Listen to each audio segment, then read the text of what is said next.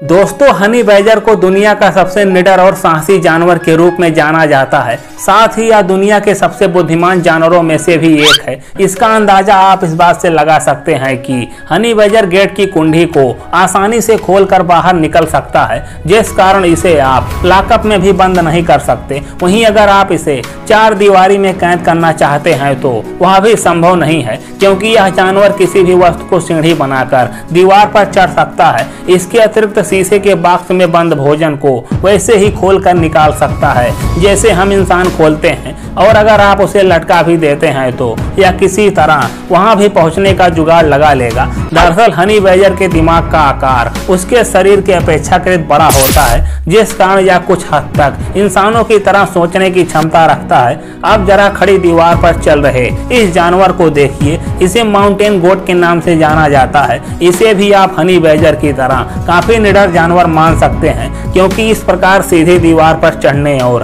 उस पर काफ़ी देर तक डटे रहने में अच्छे अच्छों के पसीने छूट जाएँगे। वास्तव में इस बकरी का पतला शरीर और इसका खुर दो खंडों में विभाजित होता है, साथ ही इसके खुर का निचला भाग रबर की तरह मुलायम होता है, जो इन्हें प्राकृतिक कर्षण प्रदान करता है। इसी वजह से ये असंभव जैसे जगह पर भी आसानी से चढ़ सकते हैं। ये जानवर नमक चाटने के लिए बाधों की दीवार पर चढ़ते हैं। क्योंकि इनके आहार में विशेष रूप से कैल्शियम लवण की कमी होती है, जिस कारण इन्हें नमक खुद ही खोजना होता है। इसी वजह से यह जानवर सिर्फ़ नमक चाटने के लिए अपनी जान की बाजी लगा देता है।